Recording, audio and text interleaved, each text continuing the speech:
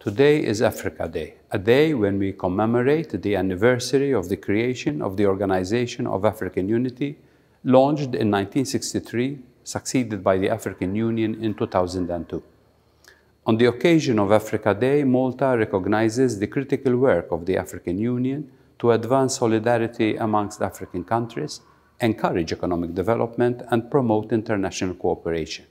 We salute the African Union's ongoing efforts in trying to silence the guns, to bring peace and stability to our neighboring continent, recognizing the steady growth of Africa and Malta's proximity to Africa, Malta has increased its diplomatic relations in Africa and revitalized our long-standing partnerships and close ties with a number of African countries.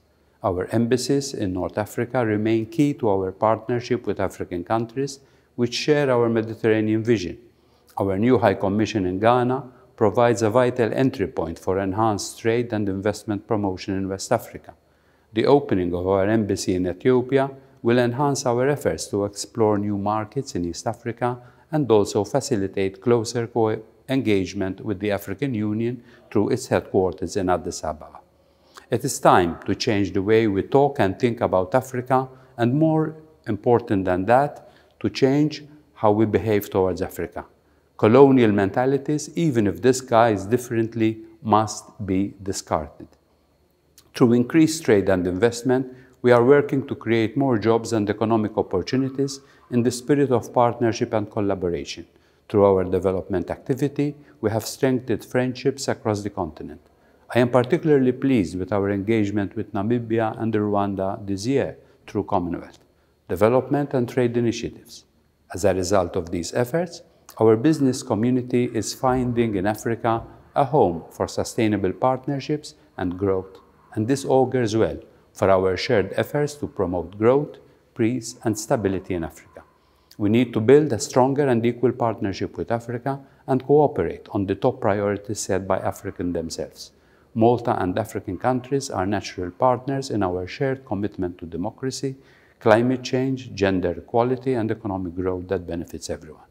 We believe we have much to learn from each other based on shared values and as we work together as partners to build a more peaceful world advance human rights, and create new opportunities.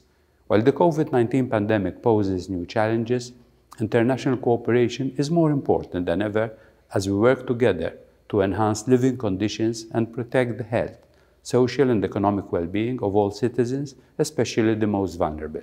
We will be deepening cooperation for post-pandemic growth through a shared Team Europe-EU approach.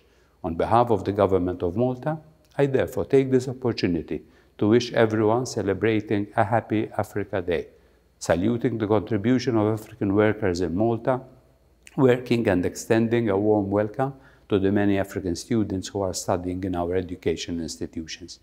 Africa Day is a time to recognize the African Union's purposeful journey towards the AU's Agenda 2063, a shared strategic framework for inclusive growth and sustainable development and a global strategy to optimize the use of Africa's resources for the benefit of all Africans.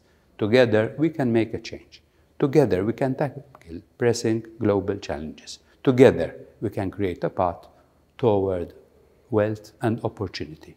Thank you.